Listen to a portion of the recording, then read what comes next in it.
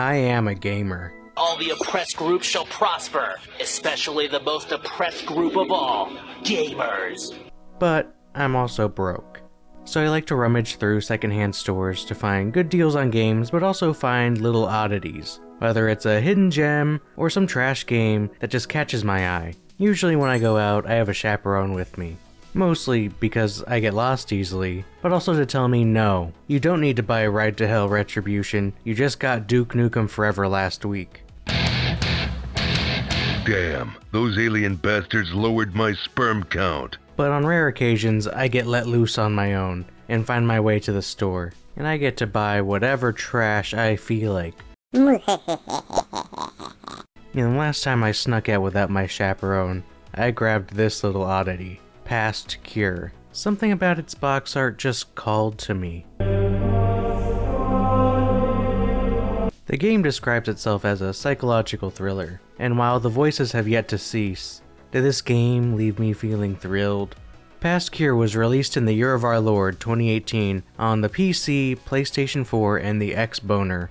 The game was developed and self-published by the studio Phantom 8, a game studio based in Berlin, Germany. Oops, Wrong footage from Berlin. Now that's better. The studio is composed of a rather small team of about 8 people.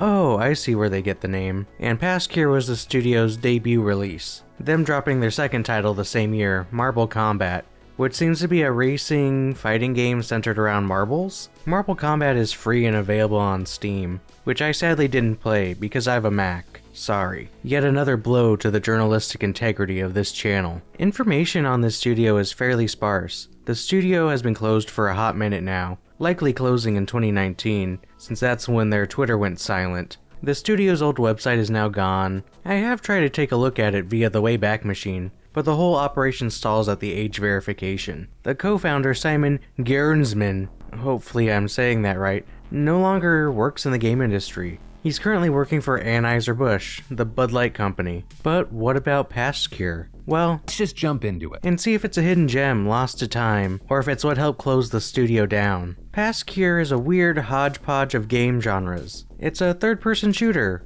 and a stealth game, and a survival horror with an emphasis on puzzles. Why don't they just throw in a battle royale mode and you'll never have to play anything else ever again, right? While the game hops from genres every half an hour or so, there is still a heavy focus on the narrative, and that narrative is something the devs are really proud of. And right as you're getting in the groove of the gameplay, there's always a cutscene that just takes you right out of it. And a lot of times these cutscenes don't really even show you anything. Why do I need to see random shots of the arena?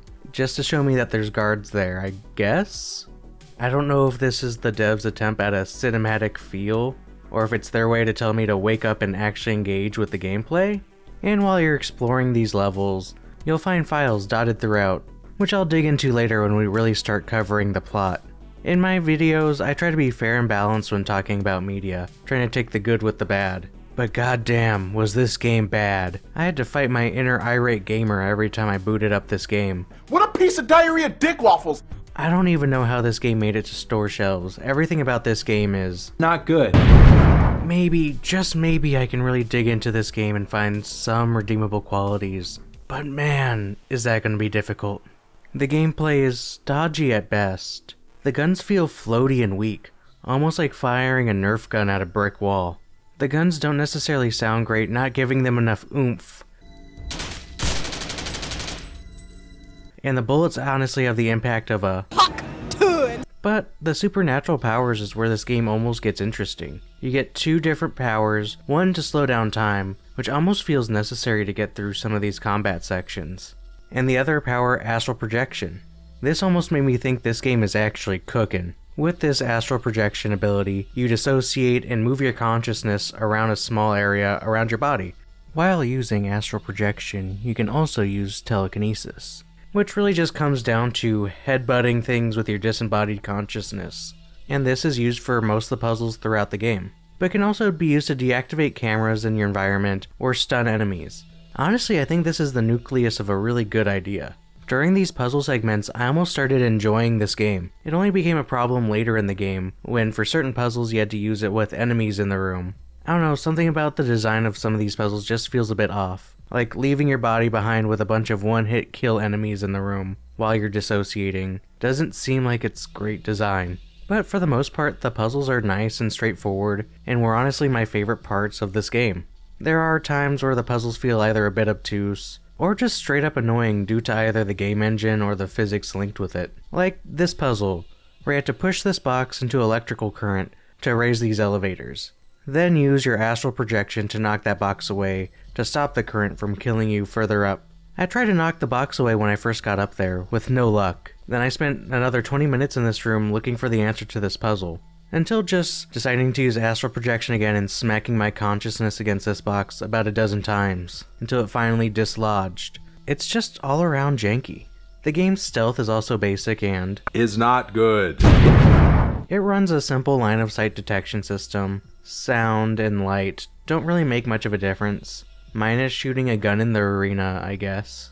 You do get a stealth takedown, and aforementioned security cameras that will set off an alarm if you run into its line of sight.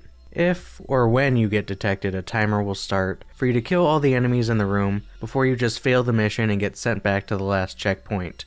Enemies will notice dead bodies in the arena, but you can't move the corpses like a conventional stealth game, so it can throw a wrench into your plans. These stealth sections are definitely not fun to play. The detection feels a little inconsistent at times, and the prompt for the takedown can just break, leaving your character standing behind an enemy, huffing their farts. You can use your astral projection to show you enemies on the map, as well as their vision cones, giving you a bird's eye view of the arena. Once again, astral projection being the best part of this game so far. Thank you, Dissociation. And last but certainly not least are the horror sections of this game. To be honest, I didn't hate these horror sections, but I didn't particularly like them either. They were just kind of meh. I don't dislike the look. These dilapidated, rusty buildings kind of give a we have Silent Hill at home, but with only one spooky enemy type. Come on, even the lackluster Silent Hill Homecoming had more enemies and more style than this. In these spooky sections, you can either shoot Mr. Clean and solve subpar puzzles, or sneak past Johnny Sins and solve more subpar puzzles. The biggest flaw of these sections are they just aren't scary. While they have a vaguely spooky aesthetic, it's all stuff that I've seen and done before. The environments are what I just feel like are spooky vanilla, and the enemies are even worse than that. I didn't find these mannequin men very threatening or scary, and the one hit kill they dish out didn't make me scared or uncomfortable in any way. It honestly made me laugh more than anything. Like, it's actually kind of funny to watch them lightly step on the protagonist's face and the screen fade to black. You can say this game is trying, but nothing about it really sits right. It's like the most bland version of horror you can find. Nothing about it stands out as unique or interesting in my opinion. Oh, I almost forgot. There is one mechanic that I found a little interesting, but like the rest of the game, it never reached its full potential. And that is the game's insanity mechanic. If you use your powers too much and don't take your pills, you start hallucinating. The screen shakes and a horde of Mr. Cleans will come out of the ground to kill you. But if you just take your pills, poof, it all goes back to normal. I like the concept of if you overuse your powers, you receive a penalty, but it doesn't amount to much. Once you take your pills, the voices just stop, almost like in real life. I don't know, it just seems like every interesting feature just lands flat when everything else is bad to mediocre at best. While the gameplay leaves a lot to be desired, the story, ooh, the story, doesn't actually fare much better. The plot of Past Cure is not good. You follow Ian, this generic white guy, Model 48.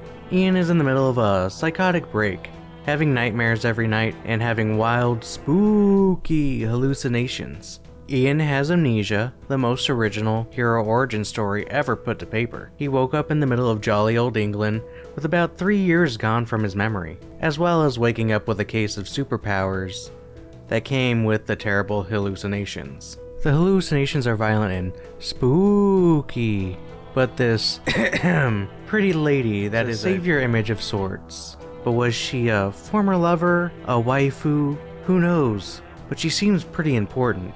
And while Ian's trying to figure all this out, he's staying in his brother's snazzy beach house. His brother Marcus is totally not a Bond villain by the look of his house. And the reason there's a full shooting range in the basement is because it seemed cool.